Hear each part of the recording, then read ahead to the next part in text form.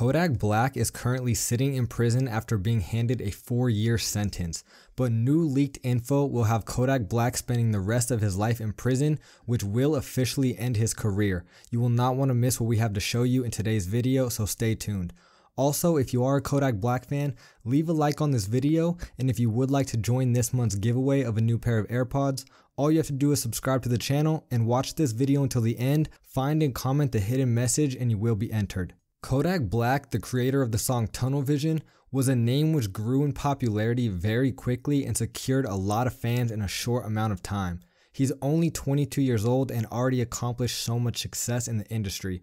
He's worked with top name artists and has had multiple songs reach the top of the Billboard charts, including a featured song ZEZE with Travis Scott and Offset, which peaked at number 2. Although he has recently lost some fans and respect from a lot of people for certain things he's done, there's no denying he is a talented artist. If you were curious as to why he lost respect, one main reason was due to him making comments about Nipsey Hussle's wife during an Instagram live video not even a couple days after he passed super disrespectful, and that lost him a lot of respect, not only from his fans, but also other rappers in the industry. They did make some comments about it, and overall, it was just a bad situation and a very bad look from Kodak. But that is a topic for a different video. Kodak's career has been on a downward spiral lately, and with new updates revealed, it could officially be ending after what he recently got himself involved in. So keep watching, you won't want to miss what we have to show you. Kodak has been in and out of jail for most of his life. He has a long past of criminal history, starting at a very young age, and he's always seemed to get a second chance. He has seemed to get lucky a lot of times, but that has finally been taken away. Going down his criminal timeline, his legal troubles began in 2015 when he was arrested for robbery, assault, kidnapping, driving with a suspended license, and possession of weed. This left him locked up for months and it also put a pause on his career, which at that time just started to take off. But in my opinion, he is very lucky because just on those charges alone, he could have been facing a lot of time in prison. A lot of other people have probably been sentenced to a lot longer than he did for the exact same charges, and he only served a couple of months. He then was later released on a bond, and not even three months later, he was pulled over and charged again for possession of marijuana. In 2016, he was arrested and charged with possession of a weapon by a convicted felon, possession of marijuana, and multiple traffic violations. He tried to drive off from police during this after they tried to pull him over and arrest him. And during that, he tossed a Glock in a dumpster, which was caught by police, and he was behind bars for six months from that crime. Same year in 2016, he was arrested for open warrants involving his 2015 arrest. After serving months in prison, he was sentenced to one year of house arrest and five years probation, but his release was stopped from two warrants. One of the warrants was for criminal sexual misconduct, which could have landed him 30 years. But dodging a long term sentence, he was released after posting a $100,000 bond. This was when Kodak Black had everyone believing he was going to stay out of trouble and change his ways. He made it seem like he was officially done getting in trouble constantly and he was going to basically make a new life and change his ways and not be always in and out of jail. But that did not last long after he was arrested in 2017 for violating house arrest.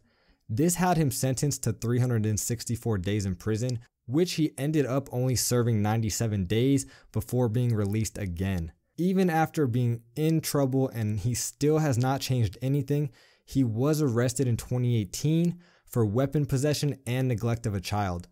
This is where I say Kodak is lucky because he got extremely lucky with this case also because three of his charges were dropped due to lack of evidence. Like I said, in my opinion, he is constantly getting lucky and dodging bullets. But still, either way, with those three charges being dropped, he was still facing four charges and he was held without bail and he was only sentenced to one year and only served seven months. He was facing 12 years for that and only served seven months. Kodak overall, like I said, is extremely lucky.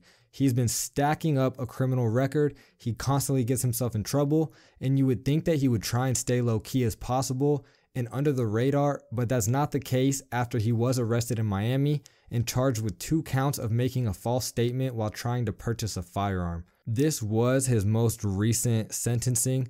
He got three years and 10 months. So basically, four years, which he could have easily gotten 10 years since he has such a big record. And during this time, it was rumored that he was involved in a fight with a prison guard. That would have definitely taken away his freedom for life. But so far, nothing has been released to prove that actually happened. Kodak is basically saying that they set him up and are making lies. But so far, no actual proof is been revealed that he did fight a prison guard. Kodak took the four year sentence as a win, considering it could have been a lot worse but that was crushed when just two days after his sentencing, he was hit with two new gun charges, and now he faces up to 30 years on each count. With Kodak's criminal past and long criminal record, I don't think there's much hope for him anymore. And although he has very good lawyers, it looks like these added charges could officially be the end of Kodak. It's unlikely he will beat these, especially both of them. He's been lucky so far considering his crimes compared to the time served, but this is going to be the one that finally ends his luck, in my opinion. The verdict in these charges is still yet to be revealed. We will have to wait and see for that, but he is facing 60 years combined, 30 years off of each new charge. We will keep you updated. I want to know what you think about this situation. Is Kodak going to get lucky again and be out after his four year sentence?